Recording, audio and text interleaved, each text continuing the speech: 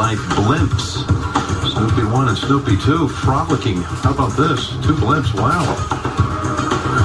Look at this coverage. Dragging. Look at this. Yeah, a little race going on. It would be a close to a pack of beagles.